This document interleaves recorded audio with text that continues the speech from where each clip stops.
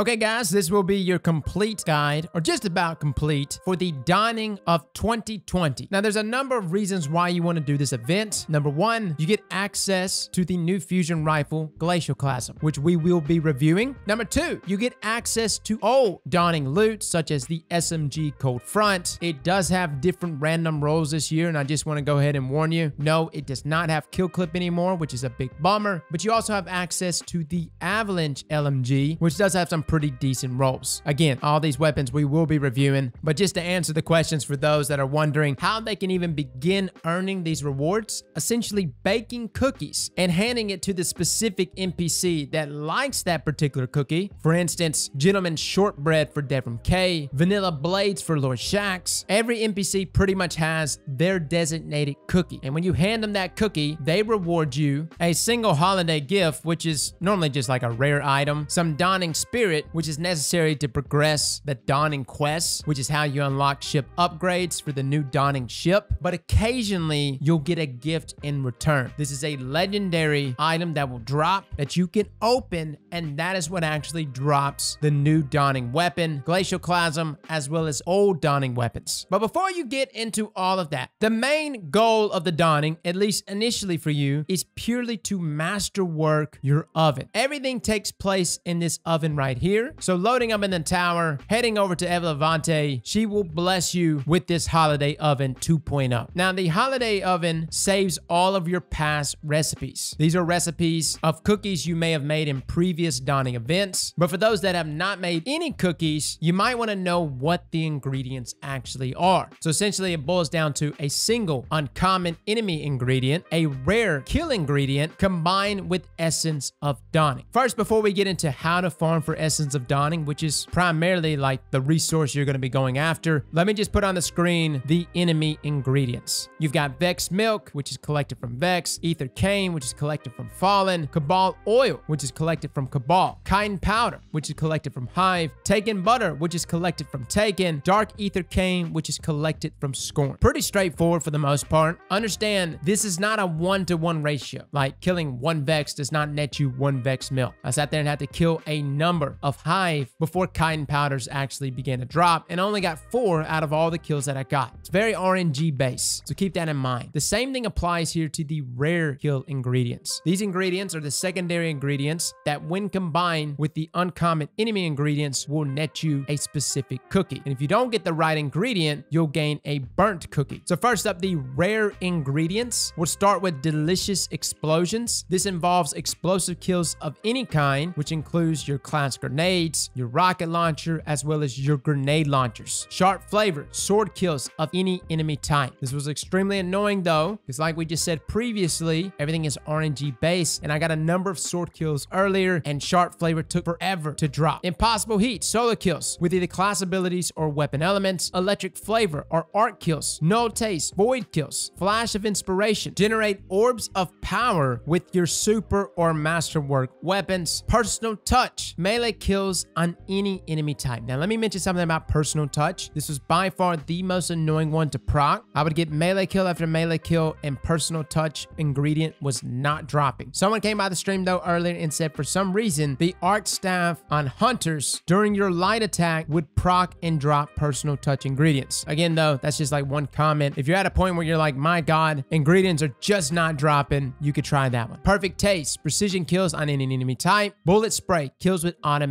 weapons. That actually involves heavy machine guns, auto rifles, submachine guns. Finishing touch kills with finishing moves. Multifaceted flavors earn multi kills on any enemy type. Pinch of light generate orbs of power. Balanced flavors, bow kills, sniper kills, or scout rifle kills. Superb texture, super kills on any enemy type. So those are all your rare kill ingredients, which now takes us to the very long list of all the cookie ingredients for all the NPCs. Now there's a lot here, but the main thing is once you learn a single one of these recipes, you've got it. It saves and you can go back and remake them without having to manually input each one of these recipes. And it's a good chance you already have most of these, which actually takes us to the five new recipes for this event. And these are the cookie recipes for Shaw, Tess, Variks, Crow, and Eva herself. First up with Shaw, we have Ether Cane plus Bullet Spray. For Tess, we have Chitin plus Multifacet. Opposite, Variks, we have chitin plus electric flavor. Crow, we have dark ether cane plus balanced flavor. And Eva Levante, we have taken butter plus superb texture. Those are our new recipes for this Dawning event. And by the way, in the description, as well as a comment pin below, I will have the ingredients for all of these. So feel free to look through that list. Again, upon baking these cookies and delivering them, will you begin to get rewards? Matter of fact, I think you get a Glacioclasm right off the bat when you hand the first cookie off to Zavala. And that's like the second quest step. So I believe Glacioclasm is a guaranteed drop, essentially on the first gift in return that you open, which will be from Zavala. Now, in order to really optimize farming for these weapons, you're going to want to masterwork your holiday oven, which means you're going to have to put in all the recipes that we just listed, and that's going to require a lot of Essence of Dawning. Now, we look for ways to farm for Essence of Dawning. Turns out there's two very good ways of farming it for both solo players and folks that are in a fire team. And of course, if you got a fire team, it's even faster. But for my solo players, just doing any activity, any core playlist activity will grant you somewhere around, what is it, 11 to 12 essence per activity completion. Surprisingly, one of the best ways to farm for Essence of Dawning is actually Wrathborn Hunts. And considering you can actually hold five charges now, and if you're still farming for the new seasonal weapons, this is an excellent way of getting 15 Essence of Dawning to 16 every single time you complete one of these hunts. And these hunts don't take long, and they're fairly easy for a solo player. I actually really like this because I'm still farming for Deafening Whisper, Friction, as well as a few other seasonal weapons. But by far, if you're looking to just rack up a ton of Dawning Essence in like 20, 30 minutes and have plenty to pretty much do every single one of these recipes, Legend Lost Sectors is your friend. You actually get 15 to 16 Essence of Dawning for each completion of these Lost Sectors.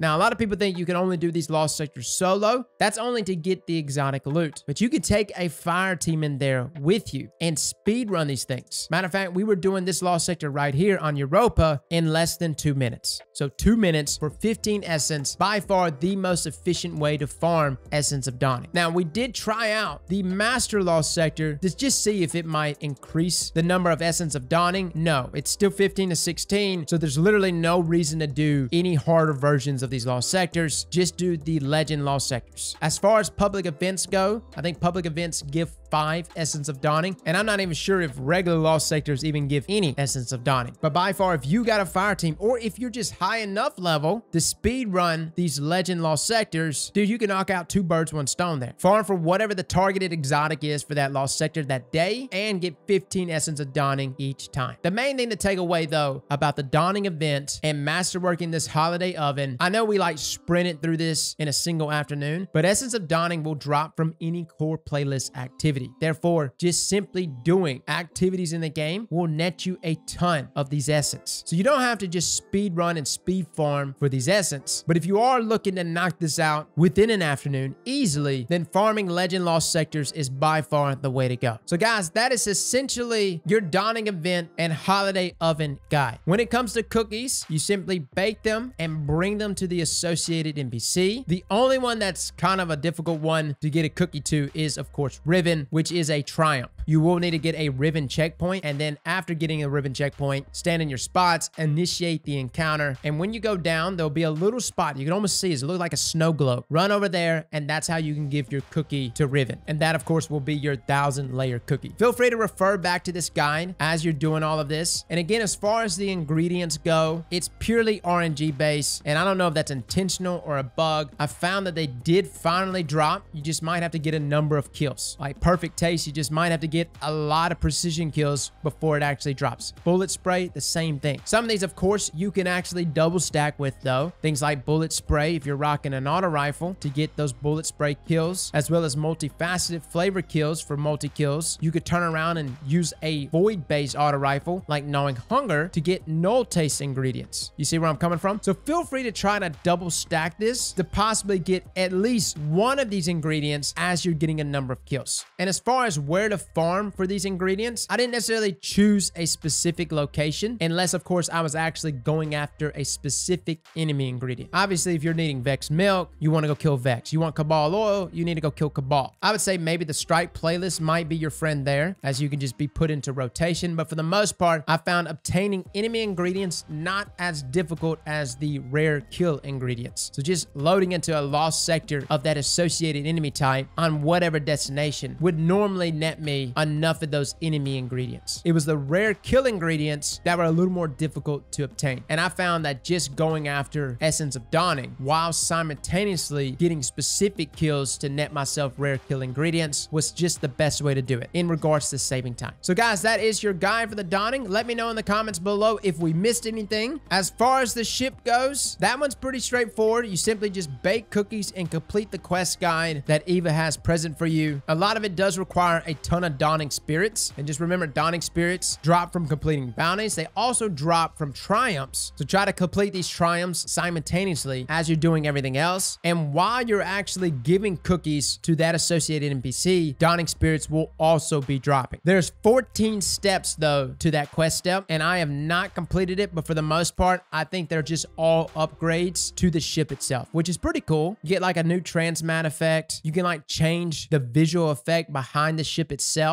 There's also a like community quest that's going on right now called the Share the Dawning Spirit. I think we're currently at like somewhere between 10 and 15%, but obtaining Dawning Spirit will contribute to that as a community. I have no idea what the reward is at the end of this quest. I don't think it's going to be random rolls for Hawkmoon. No, I had some people jumping by the stream today. It's easy to get hyped up for that, right? I don't think that's going to be the case. We'll see though. It may. It may surprise all of us. Well, fellas and ladies, thank you all for coming and watching. And as always, slap that like button like your mama told you right.